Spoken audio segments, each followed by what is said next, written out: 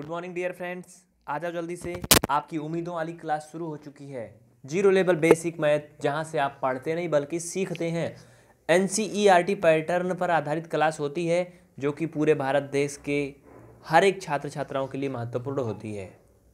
You can not have a better tomorrow you can not have a better tomorrow if you are still thinking about yesterday कुछ समझ में आया?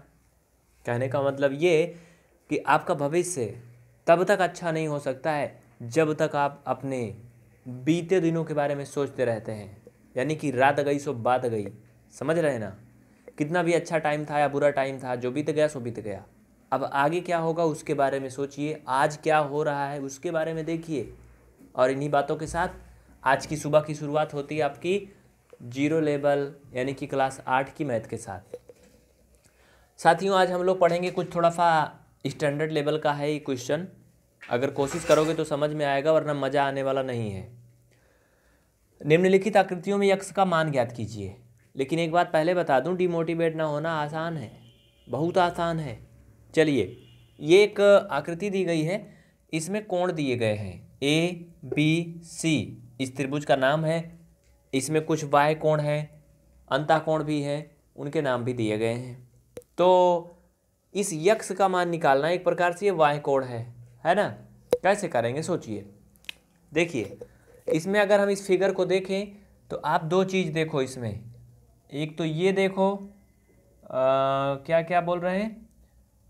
एक ये देखो जिसका नाम हो जाएगा मैं बता दे रहा हूँ आपको यहाँ पर बी यहाँ पर क्यू और थोड़ा सा मैं इसमें से काट रहा हूँ ध्यान देना। और ये आर ये देखो 125 अंश दिया है। बोलो दिया है ना? मैंने इसमें से निकाल लिया, ठीक? ध्यान देना। दूसरा बात क्या है साथियों? B A C B A सी और ये त्रिभुज देख लो। इतना आप लोग देख रहे हो ना? और ये दोनों जा कर के क्या करते हैं? एक में मिल जाते हैं।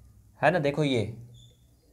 आर ए बी या फिर बी ए आर ऐसे बोलो, ठीक है? आर ए बी और बी ए सी इनमें देखिए क्या है? ये दोनों रैखिक युग्म बना रहे हैं। क्या बना रहे हैं? रैखिक युग्म बना रहे हैं। और आप जानते हो कि रैखिक युग्म जो होता है, वो कितने का होता है? इनका योगफल 180 होता है 180 होता है। तो बस थोड़ी थोड़ी चीज़ें यहाँ से मिलती हैं। उन्हीं की सहायता से हम लोग बड़ी चीज़ों को प्राप्त करते हैं। यहाँ पर लिखेंगे कोण आर ए बी धन B A C. B A C equal क्या है? 180 अंदर में लिख लीजिए रैखिक युग्म। आज भाई बहुत जड़ा रहा है ना इसलिए टोपा ओपा लगाया, नहीं तो हो सकता है गड़बड़ हो जाए कुछ। टपक जाए। समझ रहे ना? इतना हो गया। अब अगर आप ध्यान दीजिए आर ए बी, एक बात आपको बहुत छोटी सी बता दूँ अगर कहीं ऐसे लिखा है ए बी सी कोण ए बी सी ना, इसका मतलब ये होता है कि कोण बी पर बन रहा है। जो लेटर बीच में होता है, उसी पर कोण माना जाता है। समझ रहे हो ना? तो जैसे यहाँ पर आर ए बी लिखा है तो कौन सा रूट है?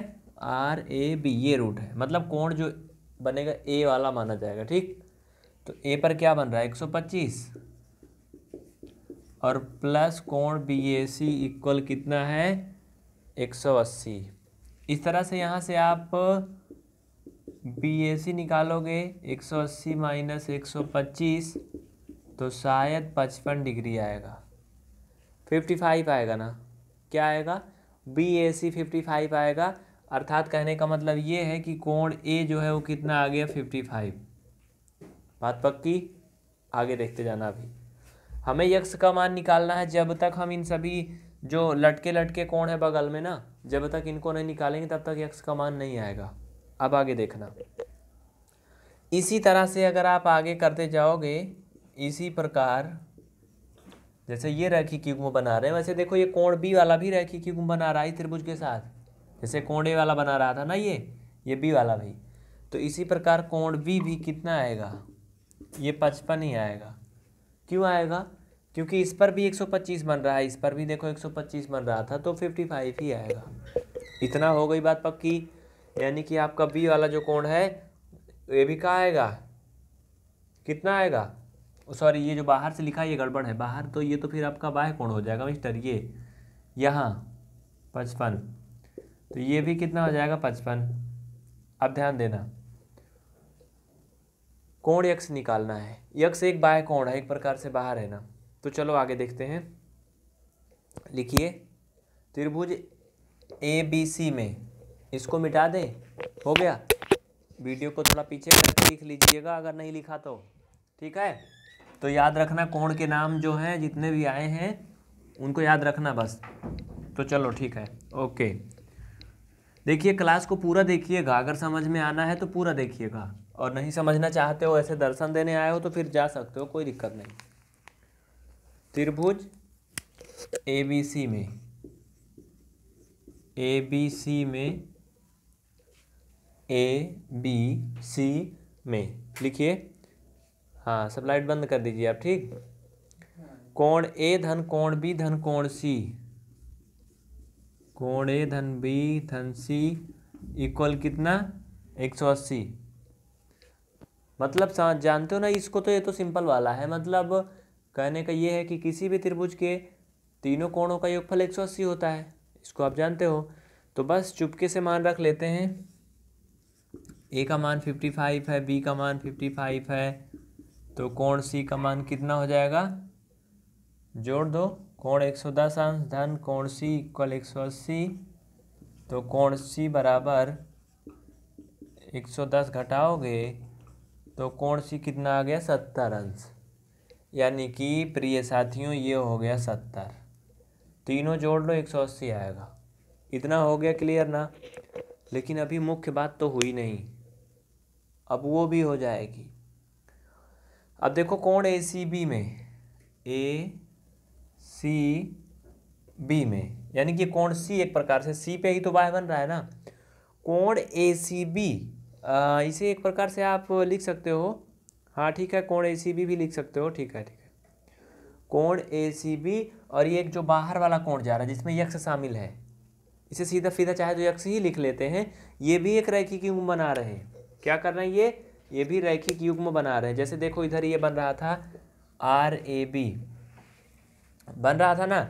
उसी तरह से इसे आप ऐसे भी बोल सकते हो आ, ये रैखिक युग्म बना रहा है कौन सा ये? आर एक्स पी या फिर नीचे से काउंट कर लो मतलब वही हुआ। अब देखना। सत्तर हो गया ना ये? नोट कर लीजिए। हम मिटाने से पहले आपको बोल देते हैं, आप लिख लिया करिए। अगर नहीं लिख पाते हैं तो वीडियो को थोड़ा पीछे कर लीजिए। डबल टच करेंगे ना बगल में स्क्रीन पर तो पीछे हो जाएगा। दस बीस सेकेंड फिर आपको दिख जाएगा। ये मत सोचिए कि मैंने मिटा दिया तो अब तो गायब होएगा। फिर से लिख सकते हो। अब साथियों, यहाँ से आप क्या करोगे? कोण ए सी बी धन कोण यक्स इक्वल, बता दिए ना, चाहे एक से लिख दूँ डायरेक्ट हम, चाहे ये वाह कोण वाला, पूरा लिखो, फिर मतलब वही होगा जाके। इक्वल एक सौ अस्सी, ब्रेकट में लिख दो, रैखिक युग्म। रैखिक युग्म लिखा है। चलिए अभी सी का मान हमने रखा था सत्तर, और ये कोण यक्स इक्वल एक सौ अस्सी। तो प्रिय साथियों, ये आ जाएगा एक सौ अस्सी में से सत्तर घटाओगे, एक सौ दस डिग्री। कितना आ गया एक्स का मान? 110 यानी कि ये कितना आ गया? One one ten degree. ठीक? बात पक्की? नोट कर लो जल्दी से। तो ये आपका पहला सवाल हो गया, दूसरा भी।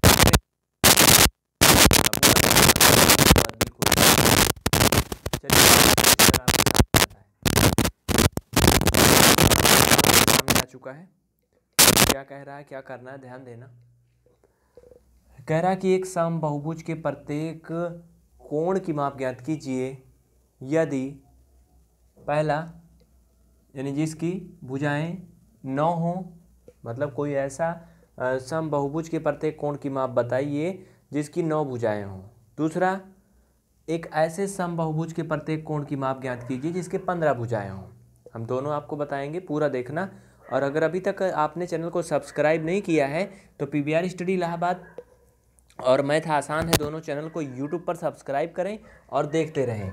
और अगर आप इसे फेसबुक पर देख रहे हैं तो पी वी आर स्टडी के फेसबुक पेज को तुरंत लाइक कर दें और आप फेसबुक पर भी लाइव देख सकते हैं।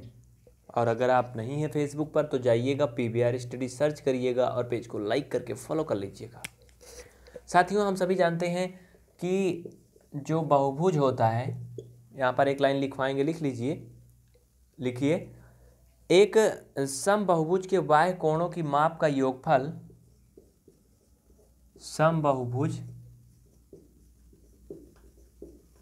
के वाह कोणों की माप का योगफल बराबर तीन सौ साठ। माप का योगफल इक्वल कितना होता है? ये तीन सौ साठ अंश होता है इसको सब कोई जानते हैं, है ना?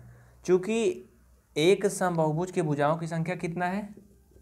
चूँकि अब पहले सवाल पे चलते हैं, ध्यान देना, पहला सवाल। सम बहुभुज के भुजाओं की संख्या इक्वल कितना है? नौ है। अब ध्यान देना, इसलिए सम बहुभुज के सम बहुभुज के वाय कोण की माप। लिखिए। इसलिए, यानी देयर फोर सम बहुभुज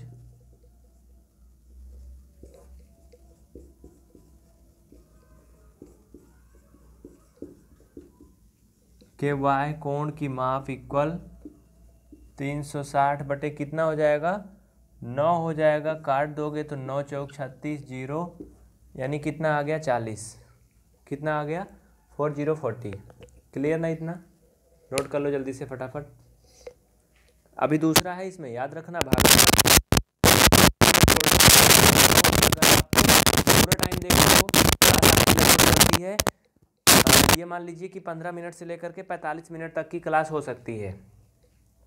तो लिख लिए सेकंड पे चलते हैं, जब पंद्रह बुझाए हों। अगर नहीं लिखा तो वीडियो को थोड़ा पीछे कर लीजिए। और वीडियो को बीच में रोक लिया करिए स्क्रीन पर टच करके। और हाँ कोई भी वीडियो को यूट्यूब पर डाउनलोड ना करें। हम आपसे एक विशेष रिक्वेस्ट करना चाहते हैं कि डाउनलोड ना करें, नहीं तो फिर हो सकता है अगले दिन आपको क्लास नहीं मिलेगी तो हमारी ज़िम्मेदारी नहीं होगी। ऑनलाइन देखिए इंटरनेट चलता है तो धीरे धीरे चलेगा। देखिए क्वालिटी चेंज करके देखिए फुल एचडी दिखेगा, एकदम साफ़ दिखेगा। चलो ठीक है। दूसरा, क्या कह रहा था? चूँकि सम बहुभुज के भुजाओं की, की संख्या कितनी है पंद्रह। लिखो। सम बहुभुज के वाय कोणों की माप तीन सौ साठ इतना आप इसमें भी लिख लो दूसरे में भी। मुझे नहीं लिखना है क्योंकि हमने एक बार लिख दिया। आप इसको लिखो पहले जल्दी से। लिख लिया। अब लिखिए। चूँकि सम बहुभुज की भुजाओं की संख्या सम बहुभुज के भुजाओं की संख्या इक्वल पंद्रह।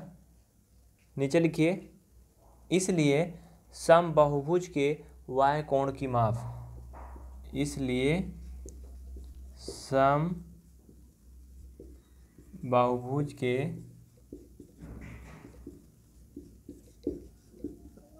वाय कोण की माप। तीन सौ साठ में पंद्रह से भाग दे दोगे तो पंद्रह दूना तीस और पंद्रह चौका साठ। इस तरह से आपका कितना आ जाएगा? चौबीस। चौबीस डिग्री आ जाएगी, है ना? कोण की माप निकालना है तो डिग्री में आएगा। तो इस तरह से आपका साथियों, ये क्वेश्चन नंबर दूसरा हो चुका है। एक्सरसाइज थ्री पॉइंट टू है कक्षा आठ की N C E R T math है। स्टैंडर्ड लेवल का सोल्यूशन होता है इसमें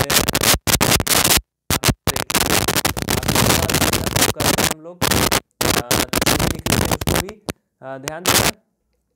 अगला सवाल जो है बहुत ही मज़ेदार है, अब हम आपके सामने ही मिटाएँगे। चौथा नंबर सवाल करवाएँगे, तीसरा आप होमवर्क कर लेना। एक सम बहुभुज की भुजाओं की संख्या ज्ञात कीजिए, यदि इसका अंतः कोण एक सौ पैंसठ का है। बताइए ऐसी स्थिति में आप क्या करोगे? इसका अंतः कोण दिया है एक भुजाओं की संख्या निकालना है है ना? और हाँ फ्री क्लास के लिए अगर अभी तक आपने चैनल को सब्सक्राइब नहीं किया तो तुरंत कर लीजिए, जिससे आपको सभी फ्री की क्लास मिल सकें और आप घर बैठे देख सको। है ना? समझ रहे हो ना?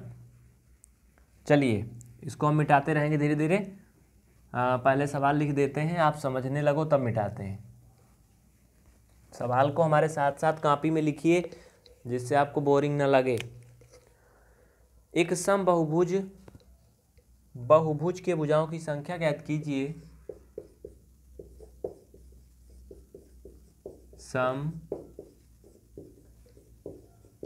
बहुभुज के थोड़ा सा रुकना। भुजाओं की संख्या ज्ञात कीजिए।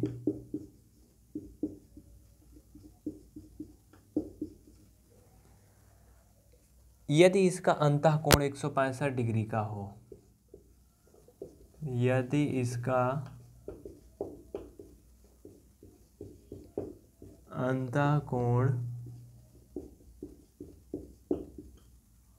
एक सौ पैंसठ डिग्री का हो, ध्यान देना आगे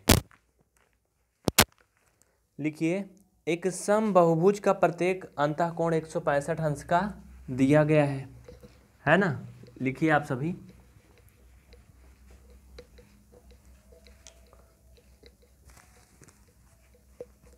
एक सम बहुभुज का प्रत्येक अंतः कोण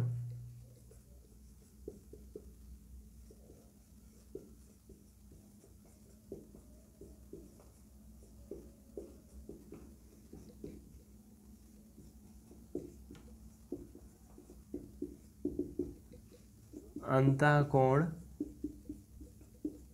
इक्वल एक सौ पैंसठ अंश, ये पहले से दिया है, आगे लिखो। चूँकि एक सम बहुभुज के वाय कोणों की मापों का योगफल, वही जो आप जानते हो, सभी जानते हो, ये स्टैंडर्ड होता है। इसमें कोई याद नहीं करना होता है। किसी भी सम बहुभुज के जो वाह कोणों का माप का योगफल होता है, वो तीन सौ साठ होता है।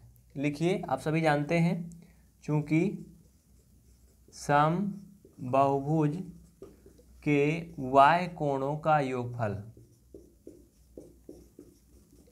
वाय कोणों का योग इक्वल तीन सौ साठ अंश ये होता है। नीचे लिखिए एक सम बहुभुज के प्रत्येक वाह कोण की माप कितना होगी यही निकालना है। तो लिख लेते हैं लिखिए। एक सम बहुभुज के प्रत्येक वाह कोण की माप। देखिए इसमें आ, क्या क्या करना था हमें पता है? हमें आ, कौन सा निकालना था? भुजाओं की संख्या निकालना था ना? हम्म भुजाओं की संख्या। तो पहले तो कोणों की माप आ जाए तब भुजाओं की संख्या पाओगे ना? लिखिए। इसलिए सम बहुभुज के प्रत्येक वाह कोण की माप। वाह मतलब जानते हो ना, बाहरी कोण? वाह कोण और अंता कोण में अंतर होता है। वाह कोण की माप, ये घटा दोगे 180 से कितना? एक सौ पैंसठ। इक्वल आ जाएगा पंद्रह डिग्री। कितना आ जाएगा? पंद्रह डिग्री। ठीक? अब वाह कोण कितना आ गया? Fifteen degree. हाँ अब क्या करेंगे? देखिए, ध्यान दीजिए अब। कुछ संकोच लग रहा है क्या? लिखिए। इसलिए एक सम बहुभुज के भुजाओं की संख्या या फिर की लिख लीजिए कि भुजाओं की संख्या। देखिए भुजाओं की संख्या के लिए हम जितना उसकी माप आई है उसी से भाग दे देंगे पंद्रह से और उसके टोटल योगफल में। तो करके देख लो ट्वेंटी फोर लगभग आएगा। कितना आएगा? ट्वेंटी फोर कितनी भुजाएँ होंगी अब इस तरह से? चौबीस। ठीक ना? बात समझ में आई ना? आ, लेकिन कुछ गड़बड़ लग रहा है क्या? मुझे भी कुछ गड़बड़ लग रहा है यार। कमेंट करके बताइएगा वैसे फ़िलहाल। चलिए आगे देखते हैं।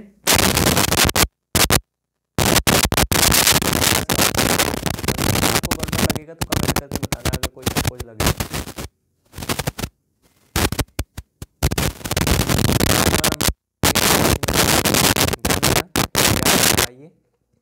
कह रहा कि क्या ऐसा बहुभुज संभव है जिसके प्रत्येक वाह कोण 22 डिग्री के हों? बताइए, कोई ऐसा सम बहुभुज संभव है जिसके प्रत्येक वाह कोण बाईस अंश के हों? नहीं, ऐसा संभव नहीं है। क्यों? देखिए, इसका रीजन है। चूँकि किसी बहुभुज के जो वाह कोणों का योगफल होता है, वो तीन सौ साठ अंश होता है। इसे सभी जानते हैं। त्रिभुज के तीनों अंतः कोणों का योगफल एक सौ अस्सी अंश होता है। इसको भी आप जानते हो, है ना? बाह्य कोणों का योगफल तीन सौ साठ अंश होता है अंतः कोणों का योगफल एक सौ अस्सी अंश होता है। लेकिन अगर ऐसा संभव होता तो कौन सी कंडीशन होती पता है? ध्यान देना। 360 को 22 विभाजित करना चाहिए। जितने भी आ, मतलब वाह कोण आप लोग बनाना चाहते हैं कोई भी बना लीजिए लेकिन उससे उस नंबर से 360 कटना चाहिए। बात समझ रहे हो ना? अगर अंता कोण की बात करें अंता कोण की जैसे अगर कहें आ, किसी भी त्रिभुज में कि क्या किसी भी त्रिभुज का अंता कोण साठ अंश का हो सकता है? बिल्कुल हो सकता है साठ अंश का। क्यों? क्योंकि भाई तीनों का योगफल एक सौ अस्सी अंश होता है। तो एक अगर आपका साठ हो गया तो आप इसको काट सकते हो। तो कितना आएगा? तीस आएगा? तीस आएगा ना? मतलब जो दो कोण और हैं, वो दोनों मिला करके कितने अंश के होंगे? बात समझ रहे हो नहीं? तीस तीस के हो सकते हैं ना दोनों? इसका ही मतलब हुआ। दोनों कोण तीस तीस अंश के हो जाएँगे, साठ अंश मतलब वो हो जाएँगे सॉरी तीस तीस अंश के नहीं मतलब साठ साठ अंश के होंगे। इसके दो गुना। डिवाइड हो रहा है ना? ठीक ना? क्योंकि ये कितना आ रहा है आपको पता है? तीन कोण बनेंगे साठ साठ के, जोड़ो एक सौ अस्सी होगा। एक सौ अस्सी होगा ना? तो उससे डिवाइड होना चाहिए, बस इतना जान लो। इससे कोई मतलब नहीं है, तीस आ रहा है, कितना आ रहा है। उससे डिवाइड होना चाहिए। ठीक ना? और वो तीन आएगा, माफ़ी चाहते हैं सॉरी तीन आएगा। थोड़ा सा टाइम भी ज़्यादा हो रहा है और आपकी क्लास ओवर होती है अब। आज का इतना ही। वैसे ये रात्रि के काफ़ी ज़्यादा समय हो गया है। आप इस क्लास को सुबह देख पाएँगे। तो साथियों, आपने विचारों को ज़रूर कमेंट करिएगा। अगर कहीं भी आपको कुछ लगता है कि जो आपको नहीं समझ में आया तो उसको लिख के भेजिएगा। इसके अलावा अगर आप पेड कोर्स करना चाहते हैं तो ये तो यूट्यूब पे आपको जो मिल रहा है, इसे देख ही सकते हैं। एक ज़िम्मेदारी के साथ आपको कंप्लीट क्लास दी जाएगी। इसके लिए आप इस व्हाट्सअप नंबर पर चैटिंग कर सकते हैं। फिर आपको कंप्लीट क्लास मिलेगी और उसके लिए आपको कुछ ज्वाइनिंग चार्ज पेमेंट करना होगा। ज़्यादा जानकारी के लिए आप नंबर पर चैटिंग कर सकते हैं। मिलते हैं फिर अगली क्लास में। तब तक के लिए आपको बहुत बहुत शुक्रिया। धन्यवाद। इन्हीं बातों के साथ जय हिंद। अगली क्लास आपकी छः बजे से होगी